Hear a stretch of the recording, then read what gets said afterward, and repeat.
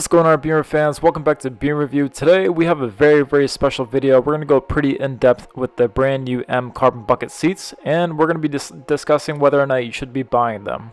So guys, if this is your first time on BeamerView, what we do here is showcase the latest BMWs that just hit the market. And if that's something that you're into, please go and subscribe to the channel right now because we're going to be putting out tons and tons of content. And before we get started guys, just wanted to show you guys this really cool BMW jacket that I saw on Amazon.com. It is probably one of the best ones that BMW makes. Uh, it is actually made by Puma, which is a really, really strong clothing brand that makes really, really great, great uh, clothing items. And so I did see this on Amazon. So guys, shipping is going to be less than a week. And it has over 100 reviews at a 4.8. So it's definitely worth checking out. The link for that is going to be right at the bottom of the video. So definitely check that out whenever you guys are done watching this video as well. Before further ado, let's go and get started. So guys, talking about the M carbon bucket seats. Should you buy them? Should you not? That is the big, big question that I've been hearing a lot lately. Now, I'm personally speaking from experience of having to sit in these uh, seats probably about eight times or so now. Um, ever since the BMW M3 came out about a year ago, um, I did get a chance to sit in the seat way back then and numerous times from that point on till this point on, which has been about a year or so. I have sat in both seats that BMW M3s and M um, and M4s come out with. Also, let's not forget that the BMW M5 CS also has the option to get these seats as well, which is really cool. Um, but yeah, guys, comparing the two seats, um, one is very, very standard, of course, and then the other one, which we're looking at right now, the M Carbon Bucket seats, are extremely special. So before we jump into it, guys, one of the things that I wanted to mention is that the BMW M carb carbon bucket seats are not very very cheap. Uh, as, as, a matter of fact, they are very very very very expensive. If you guys don't already know, these special seats, they are a option that you you can get, um, and the option to get the uh, to get these seats is going to be at around thirty eight hundred dollars. So that is quite a pretty big package or option, whatever you want to call it, if you want to get this uh, special special seat in the M3 or M4. One of the positive things about the M carbon bucket seats is yes, they are functionally very, very strong, very, very firm, and they functionally do whatever they are supposed to do, which is keep you in place. Now, the seats are extremely snug, um, but in a good way, I do want to say.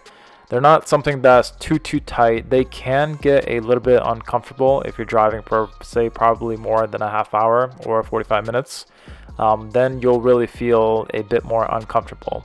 But in terms of the function that these seats are designed to do, they do just that. They hold you in super super tight. It's almost like wearing a, a perfect glove on your hand. Uh, but in this sake, it's going to be more of a perfect glove for your whole body whenever you're sitting inside a vehicle. They are the most snug seats that I've ever sat in before. Uh, with that said, they are also the most likely to keep you in place whenever you're going very, very hard around the track or just going down a canyon drive. So yeah guys, these seats are firm, but the biggest negative thing that I could that I could come up with um, aside from a pretty hefty price tag, but at the end of the day, you do get um, something worth very, very special. The hardest thing about these seats is the entry and the exit. So if we're looking at the video right over here, right along the thigh support, what looks like a little handle right on the bottom of that. Um, I'm going to rewind the clip in just a little bit right over here just so you guys can see it. Those two bottom thigh support sections that you can see on the bottom seat are probably going to be your biggest hurdles to go across uh, with. Not so much on the on, on the one that's on the inside, but the one that's on the outside. That is probably the most annoying feature about these seats. Getting in and out over that little section nearby the thigh support is going to be the hardest, most negative thing about these seats. Other than that, they are great, I will say, but this little piece right over here um, it is going to be something that is going to get quite worn because whenever you go sitting out, whenever you try to get out the car or get into the car, your thigh is going to rub on that. And that is going to be the only negative thing that I could come up with on these seats. For the most part, they are great seats. I'm not going to lie. Um, but yeah, as mentioned before, anything past the half hour, and you're gonna kind of regret getting these seats as well too. Also, make sure your your wife or girlfriend um, is going to be okay with getting in and out of these seats too. Um, just make sure they try it. You will thank me later.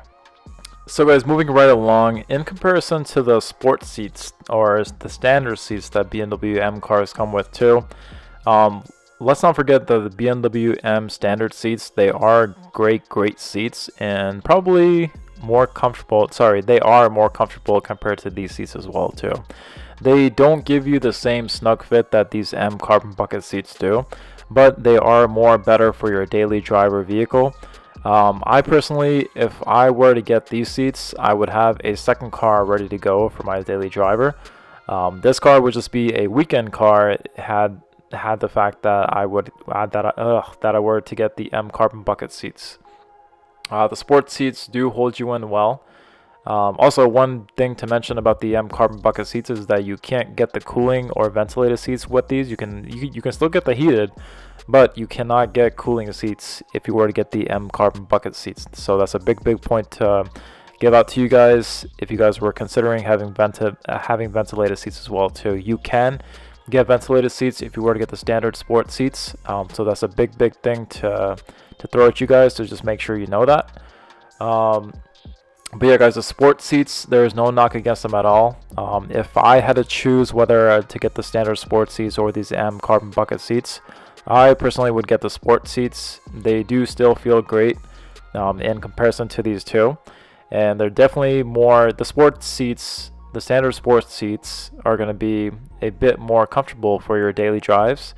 Um, and at the same time, they're still functionally very, very great as well too. You can still adjust the bolstering in both of these. So if you still want that more snug fit compared to the other vehicles, you can still do that. So guys, in conclusion, should you get the M carbon bucket seats or should you just stay with the standard sport seats? Well, that question is definitely gonna be pertaining to yourself, um, obviously. But some of the pointers that I can give you that will help you out is the fact that um, how long would your daily commute be? Is this to be your daily commuter car? Um, if it is, I would strongly recommend the standard sport seats if this is going to be your daily. You can still get past um, the discomfort that you might get after a half hour drive.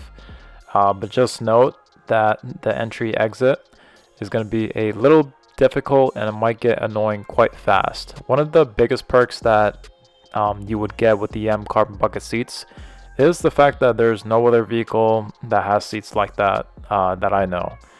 Um, these seats will definitely turn heads. You can still get them in the variety of colors like red, this Kyalami orange that we see right here.